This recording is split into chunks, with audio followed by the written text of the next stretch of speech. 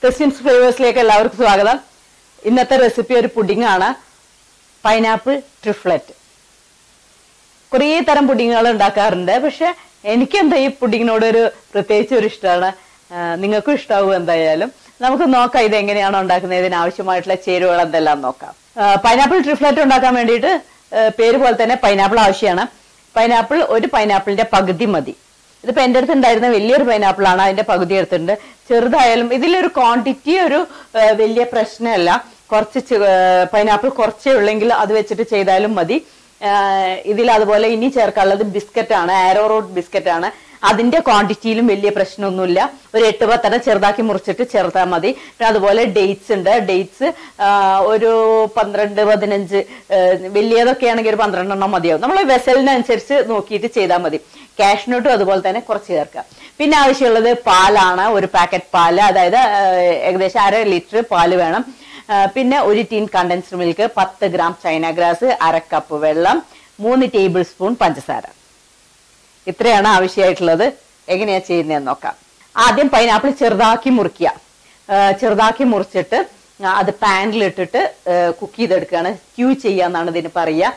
പൈനാപ്പിളിലേക്ക് കുറച്ച് പഞ്ചസാര ചേർക്കണം. പഞ്ചസാര ചേർക്കുന്നത് നമ്മളെ അടുത്തുള്ള പൈനാപ്പിൾ എന്തുമാത്രം മധുരം ഉണ്ട് ഇല്ല എന്നുള്ളതിനനുസരിച്ചാണ്.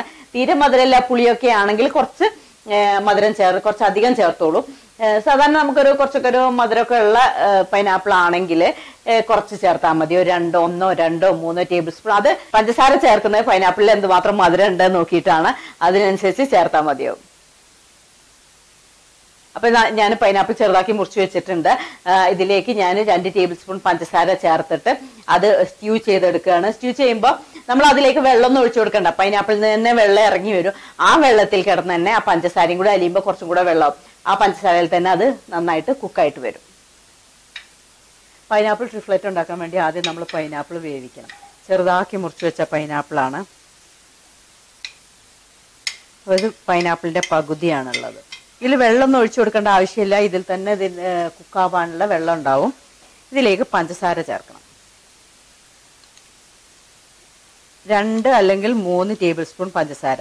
ഈ പൈനാപ്പിൾ നല്ല പുളിയുള്ള പൈനാപ്പിളൊക്കെ ആണെങ്കിൽ ഒരു മൂന്ന് ടേബിൾ സ്പൂൺ അല്ലെങ്കിൽ രണ്ട് ടേബിൾ സ്പൂൺ മതിയാവും. പൈനാപ്പിളിന് തന്നെ അതിൽ കുക്കാവാനുള്ള വെള്ളം വരും.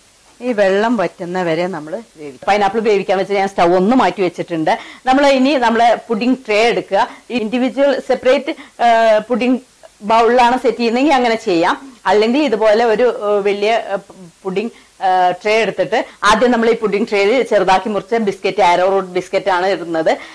അത് ഇട്ടിട്ട് അതിന്റെ മുകളിൽ പൈനാപ്പിൾ ചേർക്കുന്നുണ്ട് ഡേറ്റ്സ് ചേർക്കുന്നുണ്ട് കാഷ്യു പാൽ എല്ലാം വരുന്നുണ്ട്. പക്ഷെ എന്തൊക്കെ ചേർത്താലും ബിസ്ക്കറ്റ് ചൂടുള്ള പാൽ ചേർക്കുമ്പോൾ അത് വെയിറ്റ് ഇല്ലാത്തതല്ലേ? അപ്പൊ അതുകൊണ്ട് എന്തായാലും അത് കുറച്ച് പൊങ്ങിയിട്ട് വരും. അത് സാരില്ല അത് അങ്ങനെ ചെയ്യാൻ നമുക്ക് പറ്റുള്ളൂ.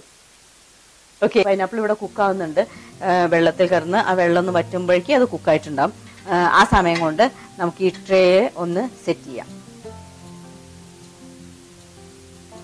ബിസ്ക്കറ്റ് ആരോ റൂട്ട് ബിസ്ക്കറ്റ് ആദ്യം നമ്മൾ നിരത്താം. ഇത് ചെറുതാക്കി മുറിച്ച്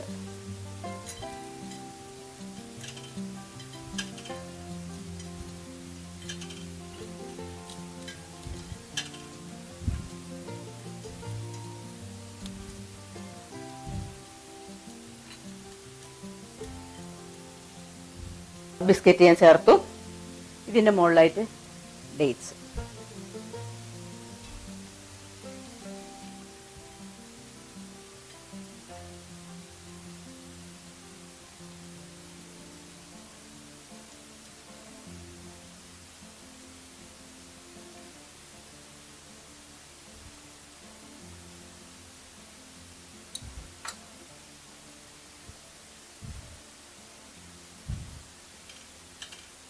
ഇനി ഇതിന്റെ മുകളിൽ പൈനാപ്പിൾ വേവിച്ചത് ഇടാറുണ്ട് പൈനാപ്പിൾ വെള്ളം വറ്റുന്ന വരെ നമുക്ക് വെയിറ്റ് ചെയ്യാം. ഇപ്പൊ കണ്ടോ പൈനാപ്പിളിലെ വെള്ളമൊക്കെ വറ്റി ഡ്രൈ ആയി തുടങ്ങുന്നുണ്ട്. കുറച്ചും കൂടെ വെള്ളമുണ്ട് അതും കൂടെ ഒന്ന് വറ്റിയിട്ട് വേണം ഇതിലേക്ക് എടുക്കാൻ. കുറച്ച് ജ്യൂസ് ഉണ്ടായി എന്ന് വിചാരിച്ച് കുഴപ്പമൊന്നുമില്ല ആ ഒരു ഫ്ലേവർ കൂടുതൽ വരുന്നേ ഉള്ളൂ.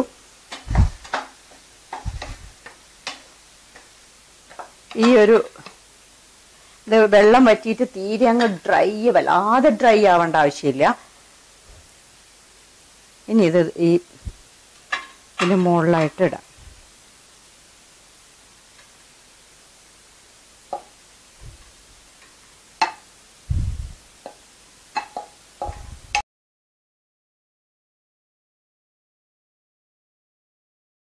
കുറച്ച് കാഷ്യൂനട്ട് അതിന്റെ മുകളിൽ സ്പ്രെഡ് ചെയ്യാം.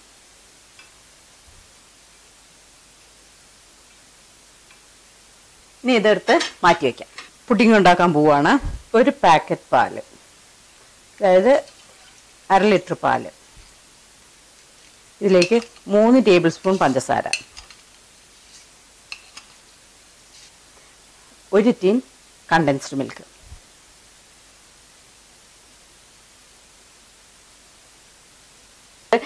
condensed milk ആദ്യം ചേർക്ക് പാലൊന്ന് നന്നായി ചൂടായ ശേഷം കണ്ടൻസ് മിൽക്ക് ചേർത്താലും മതി. അല്ലെങ്കിൽ ആദ്യം ചേർക്കുകയാണെങ്കിൽ നമ്മൾ അത് ഇളക്കി കൊടുക്കണം. അല്ലെങ്കിൽ കണ്ടൻസ് മിൽക്ക് കുറച്ച് തിക്ക് തിക്കായിട്ടുള്ളതല്ല അപ്പൊ അത് അടിയിൽ അങ്ങ് പോയിട്ട് തീ വരുമ്പോൾ അത് കരിഞ്ഞു പോകും. അപ്പൊ നമുക്കത് പിന്നെ ഫുൾ വേസ്റ്റ് ആണ്. പിന്നെ നമുക്കത് യൂസ് ചെയ്യാൻ പറ്റില്ല. അപ്പൊ അതുകൊണ്ട് ആദ്യം തന്നെ ചേർക്കുകയാണെങ്കിൽ ഇളക്കി കൊടുത്തുകൊണ്ടിരിക്കുക പിന്നെ ഈ ഒരു ക്വാണ്ടിറ്റിയിൽ എടുക്കുമ്പോൾ ഒരു പാക്കറ്റ് പാൽ അതായത് ഏകദേശം അര ലിറ്റർ പാലും ഒരു ടീൻ കണ്ടൻസ്ഡ് മിൽക്ക് മൂന്ന് ടേബിൾ സ്പൂൺ പഞ്ചസാര പത്ത് ഗ്രാം ചൈന ഗ്രാസ് അര കപ്പ് വെള്ളം. ഇതാണ് ഈ ഒരു പുഡിങ്ങിന്റെ ഒരു ബേസ് അപ്പൊ ഇനി നിങ്ങൾക്ക് കണ്ടൻസ്ഡ് മിൽക്ക് അത്രയും ചേർക്കാൻ ഇഷ്ടമില്ലെങ്കിൽ ഹാഫ് ചേർത്താൽ കുഴപ്പമില്ല. ഞാൻ ഫുള്ളായിട്ട് ചേർക്കാറുണ്ട്. നിങ്ങൾ നിങ്ങൾ ഹാഫ് ആണ് ചേർക്കുന്നെങ്കിൽ ഓക്കെ പക്ഷെ അപ്പൊ പഞ്ചസാരയുടെ അളവ് കുറച്ച് കൂട്ടി കൊടുക്കാം. ഓക്കെ ഇത് ചൈന ഗ്രാസ് മെൽറ്റ് ചെയ്തെടുക്കാനുള്ളതാണ്. അപ്പൊ അതിലേക്ക് ഒരു അര കപ്പ് വെള്ളം. പത്ത് ഗ്രാം ചൈന ഗ്രാസ്. ഒന്ന് കുതിർത്തിയിട്ട് ചെയ്യുകയാണെങ്കിൽ കൂടുതൽ നല്ലതാണ് പെട്ടെന്നായി കിട്ടും.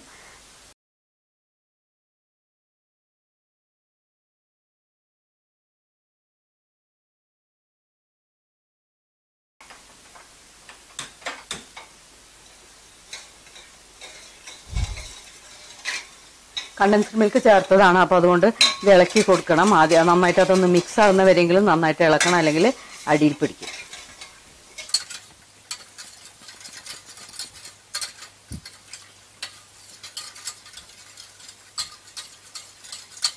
ചൈന ഗ്രാസ് ഇടക്കൊന്ന് ഇളക്കി കൊടുക്കുക. എല്ലാം നന്നായിട്ട് ആയിട്ടുണ്ട് നല്ല ചൂടായി വന്നിട്ടുണ്ട്. പല തിളക്കിയൊന്നും വേണ്ട. നല്ല ചൂടായി വന്നിട്ടുണ്ട്. ആ ബോയിലിംഗ് പോയിന്റിലേക്ക് എത്തിയിട്ടുണ്ട്. അപ്പോഴേക്കും ഇതാ ചൈന ഗ്രാസ് നന്നായി മെൽറ്റ് ആയിട്ടുണ്ട്. ഇനി ചൈന ഗ്രാസ് മെൽറ്റ് ആയിട്ട് നമ്മൾ ഒഴിക്കുമ്പോൾ ചിലപ്പോൾ ഫുൾ അങ്ങ് മെൽറ്റ് ആവാതെ കുഞ്ഞു കുഞ്ഞു കഷ്ണങ്ങളൊക്കെ ഉണ്ടെങ്കിൽ അത് അരിച്ച് കളയണമെങ്കിൽ കളയാം. ഇല്ലെങ്കിൽ പ്രശ്നമൊന്നുമില്ല. ചിലർക്ക് അത് ഇഷ്ടമുണ്ടാവില്ല ഇങ്ങനെ കടിക്കുന്നത് ഇഷ്ടമുണ്ടാവില്ല. അങ്ങനെയാണെങ്കിൽ അത് കളഞ്ഞേക്കാം. ഊറ്റി ഊറ്റിയെടുത്തിട്ട് അപ്പൊ നന്നായിട്ട് മെൽറ്റ് ആവണം കേട്ടോ. അല്ലെങ്കിൽ നമുക്ക് അത് ആവശ്യത്തിനുള്ള ആ ഒരു ക്വാണ്ടിറ്റി അതിൽ വരുള്ളൂ. എന്നാലേ നമ്മളെ പുഡിംഗ് സെറ്റ് ആയിട്ട് കിട്ടുള്ളൂ. പിന്നെ അതുപോലെ ചൈന ഗ്രാസ് പത്ത് ഗ്രാം ചേർക്കണ്ട. എനിക്ക് അത്രയും ഇഷ്ടമല്ല. അങ്ങനെയൊക്കെ പറയുന്ന ആൾക്കാരെ കണ്ടിട്ടുണ്ട്. അങ്ങനെയാണെങ്കിൽ ഒരു എയ്റ്റ് ടു ടെൻ വരെ നിങ്ങൾക്ക് ചേർക്കാം. ഞാൻ പത്ത് ഗ്രാം ചേർക്കാറുണ്ട്. ഞാൻ ഉണ്ടാക്കുന്ന രീതിയിലാണ് ഞാൻ ചെയ്യണത്. ഓക്കെ ഇപ്പൊ ചൈന ഗ്രാസ് മെൽട്ടായി അതേപോലെ തന്നെ പാലും കണ്ടൻസ്ഡ് മിൽക്കും പഞ്ചസാരയും ചേർത്തിട്ടുള്ള മിക്സ് ബോയിലിംഗ് പോയിന്റിലേക്ക് എത്തിയിട്ട് ഇനി രണ്ടും കൂടെ മിക്സ് ചെയ്തിട്ട് നമുക്ക് നന്നായിട്ടൊന്ന് ഇളക്കാം. കുറച്ച് സമയം ഒന്ന് ഇള ഒരു ഒരു ഒന്ന് രണ്ട് മിനിറ്റ് നമ്മൾ അത് നന്നായിട്ട് ഇളക്കി കൊടുക്കും. ചൈന ഗ്രാസ് മെൽട്ടായിട്ടുണ്ട് ഇതിലേക്ക് ചേർക്കാം. പാലും ഏകദേശം തിളയ്ക്കാറായിട്ടുണ്ട്. രണ്ടും കൂടെ ചേർക്കാം. സ്റ്റൗ ഓഫ് ചെയ്തു.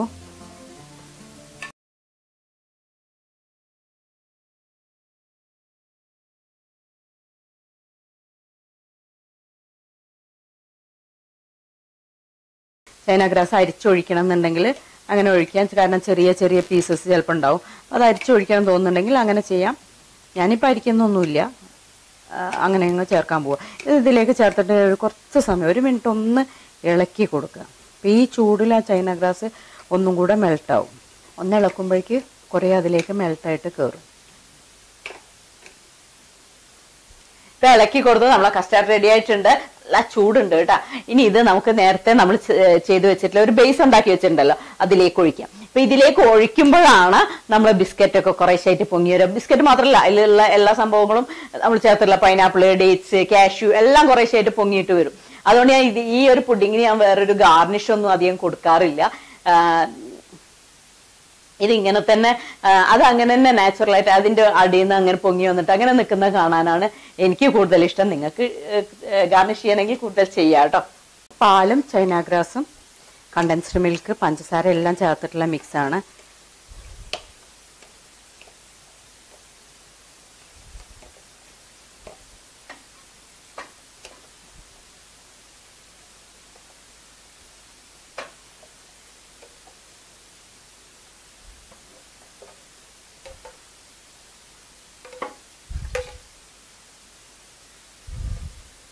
ഇപ്പൊ ഒഴിച്ചു കഴിഞ്ഞു. ഇപ്പൊ കണ്ടില്ലേ എല്ലാം ഇങ്ങനെ കുറേശ്ശെ പൊങ്ങി പൊങ്ങി വന്നത് കണ്ടില്ലേ?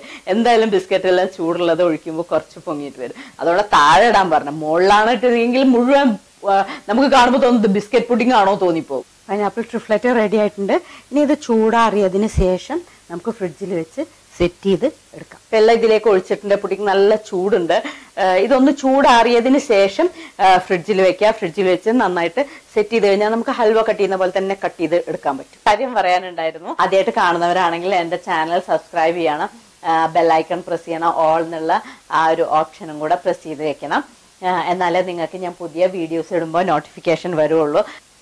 കമന്റ് ചെയ്യണം ലൈക്ക് ചെയ്യണം. നിങ്ങൾക്ക് ഇഷ്ടമുള്ളവർക്കെല്ലാം അയച്ചു കൊടുക്കണം. പുഡിങ് നല്ല സെറ്റായി വന്നിട്ടുണ്ട്. കണ്ട? നല്ല ഭംഗിയുണ്ട്. കുറച്ച് മഞ്ഞ കളറൊക്കെ പൈനാപ്പിൾ എല്ലാം മുകളിലേക്ക് വന്നിട്ടുണ്ട്. കുറച്ച് ഡേറ്റ്സ് വന്നിട്ടുണ്ട്. കുറച്ച് കാഷ്യൂ കുറച്ച് ബിസ്ക്കറ്റ് എല്ലാം മുകളിലേക്ക് പൊങ്ങി വന്നിട്ടുണ്ട്. ഞാനിത് കട്ട് ചെയ്ത് കാണിക്കാം. എന്തായാലും ഇത് നല്ലൊരു പുഡിങ്ങാണ്. എല്ലാവരും ട്രൈ ചെയ്യണം. എന്തായാലും എല്ലാവർക്കും ഇത് ഇഷ്ടമാവും.